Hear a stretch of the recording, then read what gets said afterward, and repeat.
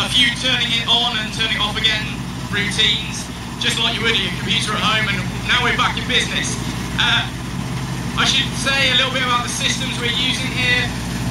Everything on this combine that makes it an autonomous system has been taken from drone technology, technology that flies aerial drones to take photos. The team, Jonathan and Martin, have very cleverly taken those systems, put them into a combine, a machine they were never designed to work on. But that has meant that this machine is now driving in front of us for a fraction of the price of what it was. And uh, I wouldn't say it's quite right.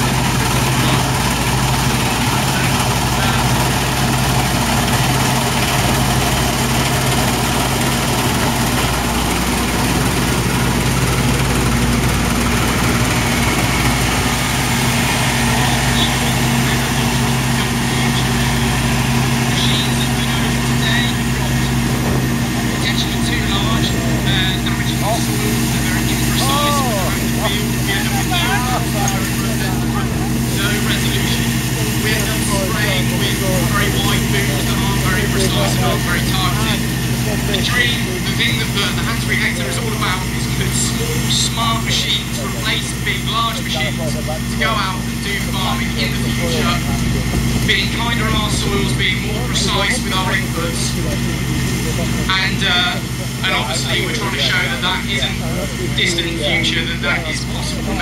In fact, we can harness technology that is 25 years old in the case of this Sampo, and we can add systems to it to make it a robotic system out in a field doing a job. We were the first people in the world to go through a full cropping uh, cycle. We planted and then grew and then uh, the? Uh, and then harvested spring barley last year.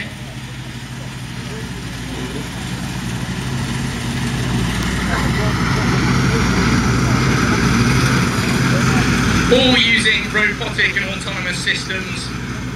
We've continued this year with wheat uh, in our field.